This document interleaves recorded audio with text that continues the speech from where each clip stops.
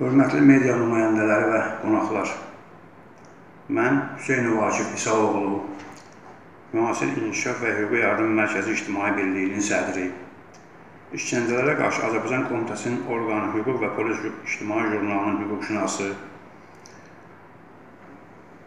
Gəncədə baş verən polis özbaşınlığına görə e, bu məhkəmə keçirirəm. Ona görə ki, deməli Gəncə şəhərində Rasim Qurbanov deyilən bir polis əməkdaşı var. Əvvəllər onu çıxartmışlar, deyilənə görə indi yenidən nəsə bir şöbə yaradıblar. Baş Mütəşəkkil Cinayətkarlara Qarşı Mübarizə İdarəsinin Gəncə şəhər şöbəsinin rəisidir. Demək olar ki, bu Gəncədə bu millətin balalarını, evladlarını şərləməklə dövlətə, Daxili İşlər Nazirinə yalan məlumatlar verməklə gənclərimizi şəhərlərdə həbsə atdırır. Və bu Gəncədə çox onun qurbanları var belə. Qurbanların biri də mənim kürəkənim Fuadov Famil Abbasoğludur.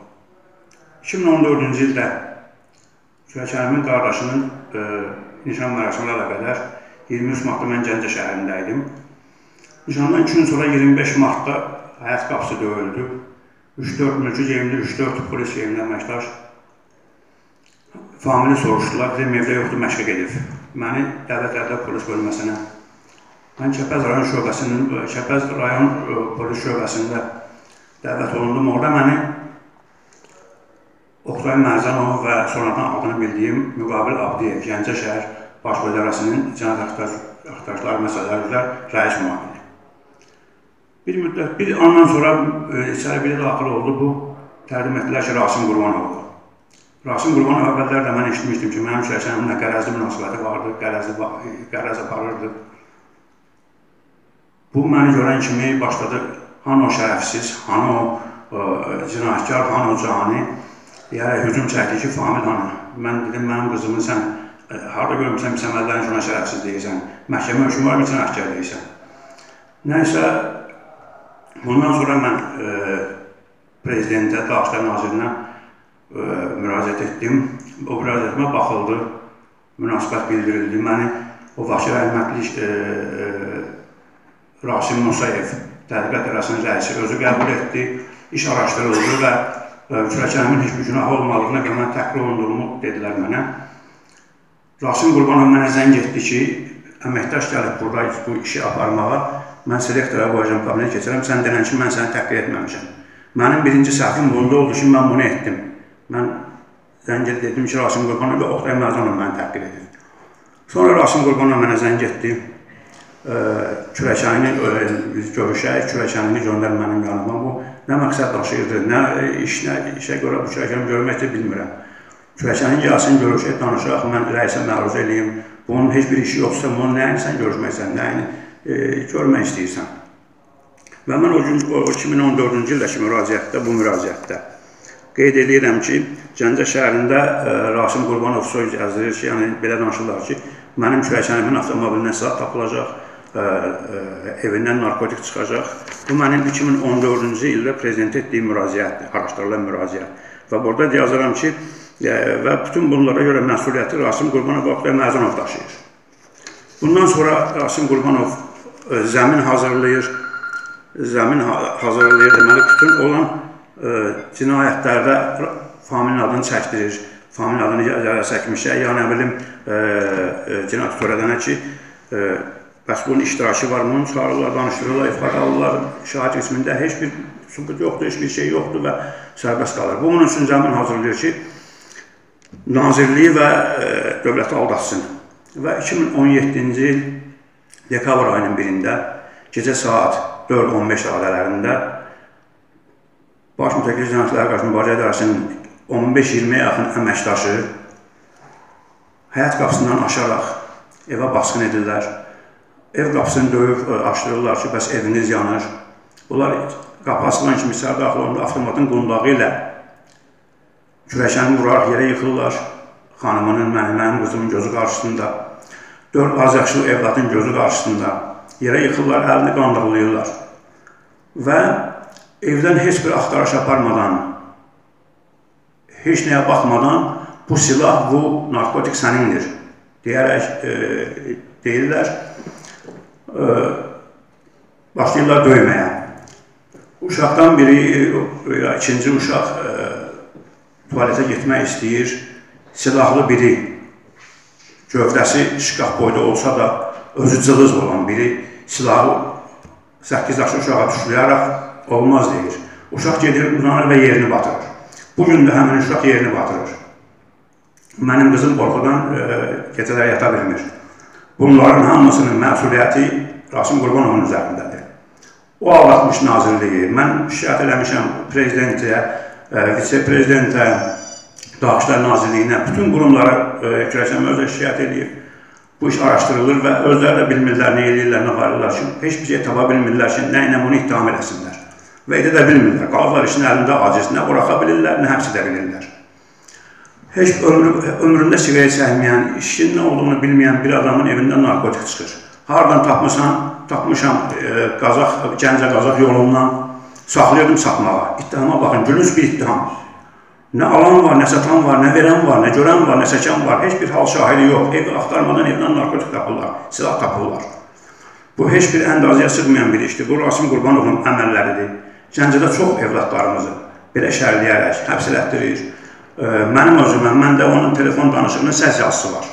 O səs yazısını mən saxlayıram özümdə hələ mətbuata və yaxud da ki, sosial şəbəkədə vermirəm ki, Daxışlar Nazirliyinə təqdim edeyim, onlar da daxili tədqiqatla onu araşdırsınlar dövlətə ziyan gəlməsin, dövlətçiliyimizə bir zərər olmasın deyə bunu mən hələ yaymıram.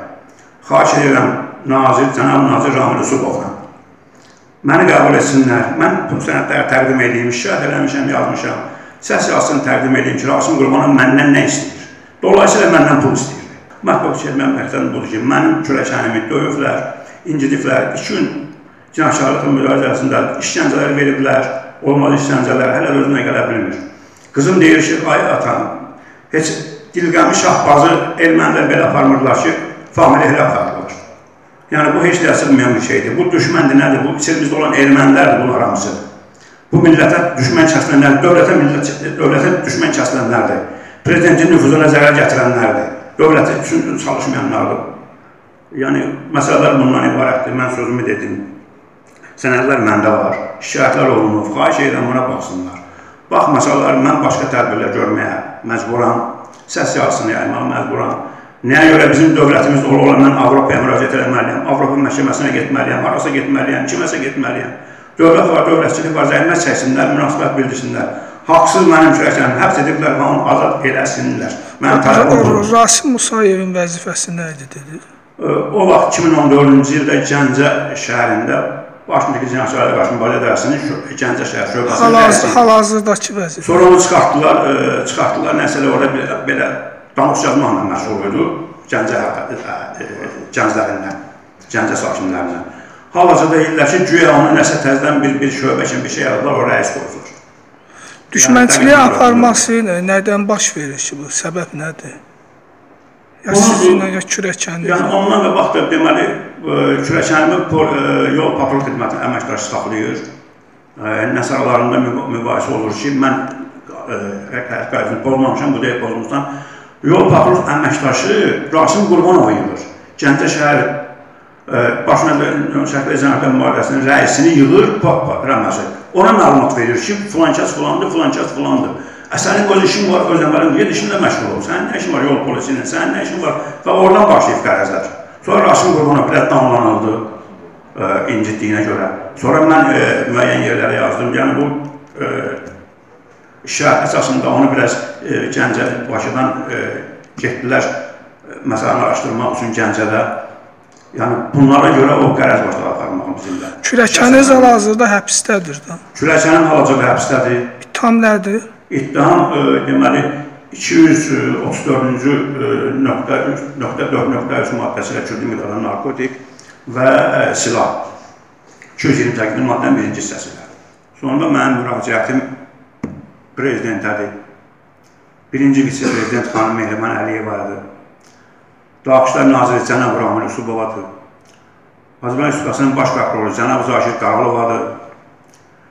Dövlət Təşkilat Xidmətinin rəisi cənab Mədət Quliyevadır, Çünki Mədət Quliyevə niyə uşaq özü oradan şikayət edib, hə, onların e, onlara aid olmayan məsələ olsa da məsələ, hətta Mədət Quliyev sağ olsun ki, məsələyə münasibət bildirib və işi yönləndirib Daxillər Nazirliyinə və bu barədə Şurək Kərimə məlumat veriblər.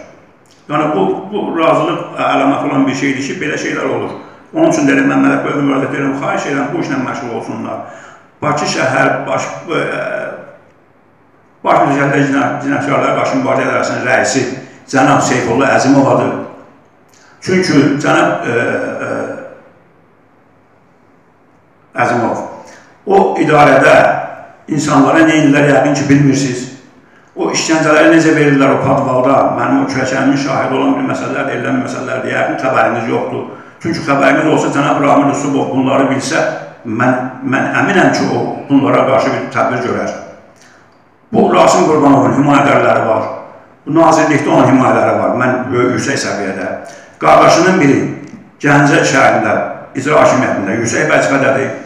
Qardaşının biri 2013-14-cü ildə dövlət məmurunu döydüyü üçün cinayətçi qaldırılmışdır. Yəni bu özü belə ailələr olaraq başqasının ailəsini məhv edir, başqasının ailəsini necə deyərlər, məhv etməklə, həbs etdirməklə məşğul olur.